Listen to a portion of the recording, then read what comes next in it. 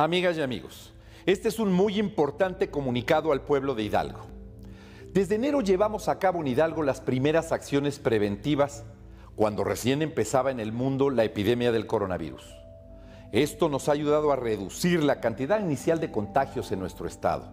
Pero ingresamos ahora a la etapa crítica. Les ruego mucha atención en los próximos minutos. Lo que está en juego es la vida de todos. Nuestros especialistas nos han alertado que estamos por entrar a una etapa de contagio acelerado que nos llevará a tener hasta 3.500 enfermos a mediados de junio, es decir, cuatro contagios nuevos por hora en Hidalgo. A pesar de que tenemos una emergencia de esta magnitud, muchos hidalguenses han tomado esto a la ligera. Piensan que son vacaciones. Han seguido con su vida normal, sin ningún tipo de restricción, sin aislarse en sus casas, sin guardar la sana distancia y sin usar cubrebocas. Incluso hay quienes piensan que las medidas de reducción de la movilidad que se han implementado, como el hoy no circula, son una manera de molestar a la población. Nuestra intención no es ni será generar actos de molestia a la ciudadanía.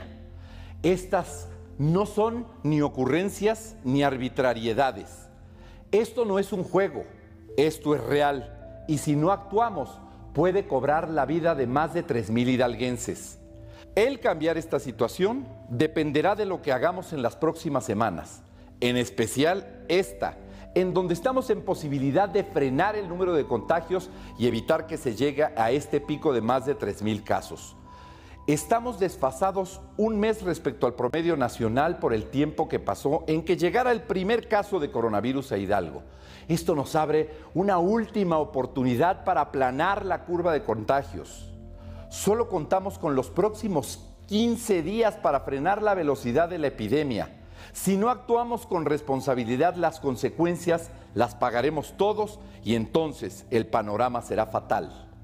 A pesar de todos los esfuerzos que hemos hecho, como poner en operación cuatro hospitales totalmente equipados con 138 camas y haber reconvertido 106 camas más, además de haber capacitado a 2.500 médicos en todo el estado, colocar lavamanos públicos con crema viricida, túneles sanitizantes, implementar el uso del cubrebocas y el hoy no circula, entre otras, no serán suficientes para atender a los enfermos que ya la cantidad de camas de hospital que existen en el estado estaría sobrepasada. No queremos ver a pacientes en los pasillos sin cama, médicos que no se den abasto para atender a tantos pacientes. No queremos ver una angustia terrible en las familias por no poder acompañar a sus enfermos e incluso muchas personas podrían morir sin la oportunidad de haber recibido la atención debida. No quiero que en Hidalgo lleguemos a sufrirlo, pero esto ya ocurrió en otras partes de México y del mundo, en las que no se respetó el quédate en casa. Ustedes ya saben lo que deben hacer. Además de quedarse en casa, lavarse las manos con frecuencia, usar cubrebocas, mantener la sana distancia. Muchos que no soportaron las medidas de aislamiento, de restricción de movilidad, la sana distancia, el encierro en sus hogares, están ahora aislados en una cama de hospital, luchando entre la vida y la muerte, o peor aún, ese encierro puede terminar dentro de un ataúd.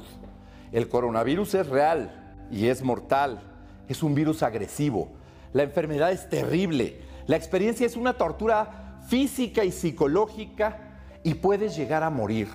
Por favor, especialmente estas semanas, quédate en casa. Hazlo por ti, hazlo por tu familia, hazlo por Hidalgo, hazlo por México y recuerda, cuidándote tú, nos cuidamos todos.